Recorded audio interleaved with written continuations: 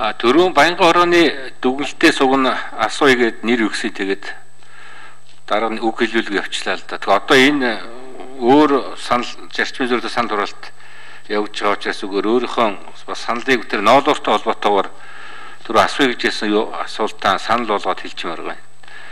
А элсэн хэлцүүлд би бэлтгэхдээ 2 3 зүйлийг бас анхаармаар байгаа маа. Бид одоо ингээд дотоодын үйлдвэрлэгчдийг дэмжигээд 300 тэрбум төгрөгийн хөнгөлтэй зээл олгосон аж ахуй нэгжүүд маань үн ханш унссан гэдэг за нэг хэсэг нь өр зөөлтийгэд ингээд авч чадахгүй бас жаахан хүндрэлтэй байгаад байдаг. Тэгэхээр одоо орж иж байгаа арга хэмжээ маань дахиад дотоодын үйлдвэрлэгчдийг дэмжих чиглэлийн угаас ноолоор одоо гарах чиглэлээр энэ тогтоолын төсөл орж иж байгааг нь үйлдэж ойлгож байгаа. Тэгэхээр энэ маань дахиад бас хэрэгжихгүй ийм асуудал болж ихэд гэсэн болгоомж эргэлзээ байгаа. Тийм учраас энэ дээр ноолуурыг одоо түүхийгээр нь одоо гаргах асуудлыг л бид одоо ярьж тодтогч одоо ярьж өгөхгүй бол энэ ажил маань үрдэн муутай болох л үс. Ноолын асуудал дараагийн санал байгаа. Хоёр дахь асуудал таадгүй өөрөө Баянган орны санал дүнхтээс асуулт асуух үг хэлүүлэх явчих юм биш. Алсын мухрын өрөөнд байгаа биднээс үг хэлүүлэх болж олохгүй юм л да.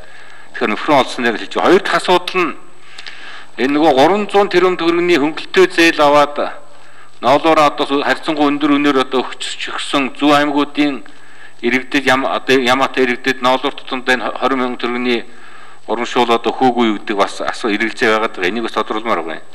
Гурав дахь асуудал нь ерөөсөө ингээд энэ дотоодын үйлдвэрлэгчд аж ахуйн нэгжүүд чинь бол ноолуурыг үнийг бас унахыг хүлээгээд авахгүй нөхцөл байдал үргэлжлээд байх шинжтэй байна.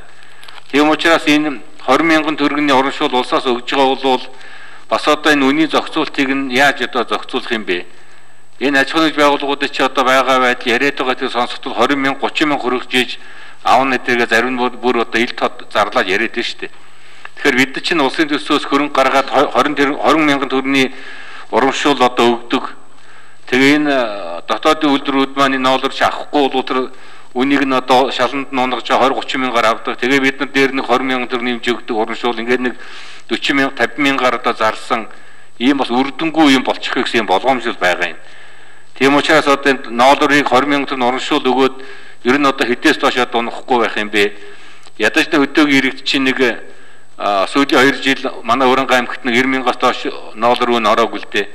Ядаж нэг 90 байх гэд нэг 70-аас доош 80-аас мянгаас доош оруулчмааргүй байна гэсэн юм яриа малчид их яриад байгаа. Тийм учраас одоо энэ 20 мянган төгрөг урамшуулыг ноолорыг нэг ядаж нэг 80 мянгаас одоо буулгахгүй байхаар одоо авах ийм одоо зохицуултыг нь хийж өгөхгүй бол тэгээд сүүлд нэг 40 мянга 50 мянган доллар зарсан ийм л одоо асуудалтай үрдэн муутай юм арга хэмжээ болчих гэсэн юм болгоомжл байгаа маа. Тэгэхээр энийг бас эдийн засгийн байнгын ороо эцсийн хилцүүт ирзэхтэй бас нэлээд авч үзэж бас нэлээд анхаарах юм шаардлагатай байна гэсэн юм эргэлзээ болгоомжлууд байгаа маа.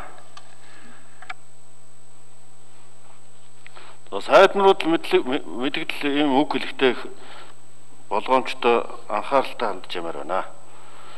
За гişүүд асуулт үг хэлж дууслаа. Одоо санал хураалт явуулнаа. За санал хураалт